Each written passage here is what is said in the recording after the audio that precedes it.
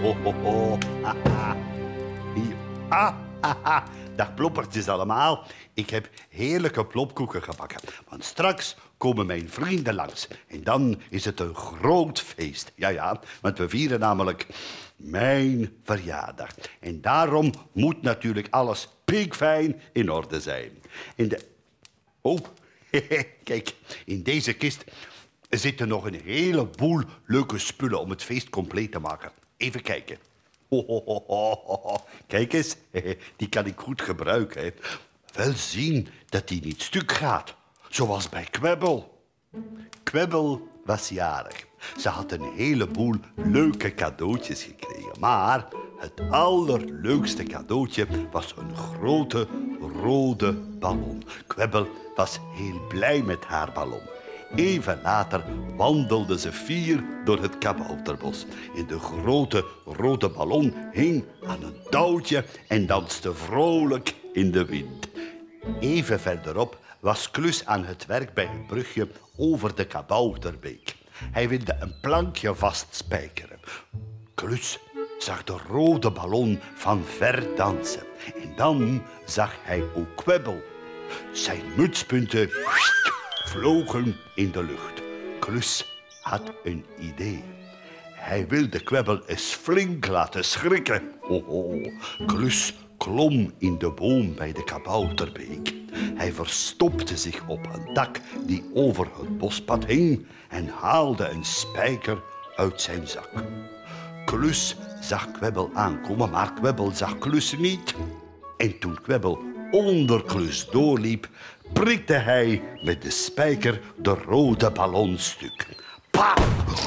Kwebbel schrok. Wat was er gebeurd?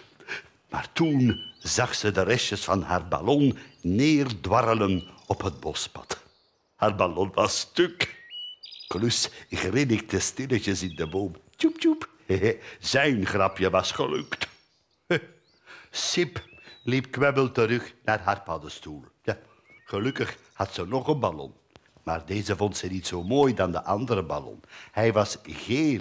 En Kwebbel houdt wel van geel, maar de gele ballon was veel kleiner dan de rode ballon. Even later wandelde Kwebbel weer door het bos. De gele ballon danste aan een touwtje boven haar hoofd. De zon scheen vrolijk door de bomen en Kwebbel was weer blij. Maar Klus was er ook nog. En toen Kwebbel voor de tweede keer onder de boom bij de kabouterbeek liep, prikte hij met de spijker, bang! En weer knalde de ballon stuk. Arme Kwebbel. Verdrietig liep ze verder naar mijn melkherberg. Nu had ze geen enkele ballon meer. Geen grote, maar ook geen kleine. Kwebbel vertelde wat er gebeurd was. Ze vertelde over de rode ballon en over de gele ballon die stuk gingen toen ze bij de kabouterbeek kwam. Plopperde plop. Ik snapte er niets van. Ballonnen kunnen toch niet zomaar stuk springen? Gelukkig had ik ook een verjaardagscadeautje voor Kwebbel. Een ballon. een blauwe ballon. Kwebbel was dolblij. Ze vond mijn ballon zelfs nog mooier dan de rode ballon. Ze wilde hem meteen mee naar haar paddenstoel nemen, maar ze durfde niet meer naar buiten. Wat als deze ballon ook stuk ging?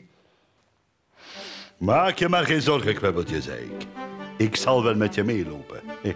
ik liep voorop en Kwebbel achter me aan. Toen we bij de kabouterbeek kwamen, zag ik Klus bij het brugje. En zodra hij Kwebbel en de ballon opmerkte, kroop hij snel als een eekhoorn in de boom. Plopperde plop. Natuurlijk, daarom ontplofte de ballon van Kwebbel. Klus prikte hem telkens kapot. En dat was niet erg lief van Klus. Ik hield Kwebbel tegen en vertelde haar... stilletjes, mijn plannetje. Even later liep Kwebbel weer onder de boom door. Klus zat boven op de tak klaar met een spijker.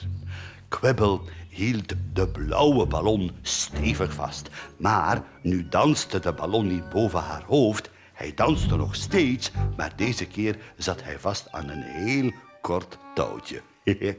Klus strekte zich uit zover hij kon. Maar het touwtje was zo kort dat Klus er net niet bij kon. Klus strekte zich nog wat en nog wat tot de spijker uit zijn hand gleed en Klus er achteraan tuimelde. Paf! Klus viel naar beneden, precies op de spijker. Ai, ai, ai, ai, ai, jammerde Klus en hij wreef over de plek waar de spijker hem geprikt had. Maar toen hij het boze gezicht van Kwebbel en mij zag, ging hij er snel vandoor. Eindelijk kon Kwebbel rustig verder wandelen met haar ballon. Ja, ploppertjes, die klus met zijn flauwe grappen altijd. Kijk, hè. ik hang mijn ballon hoog genoeg, ja, zodat hij er zeker niet bij kan. Anders zou hij ons weer aardig doen schrikken. Dat, de plopper, de plop. Nu is hij toch stuk. Ja. Eh, ik ga hem vlug vervangen. Eh, tot de volgende keer, ploppertjes. Oh.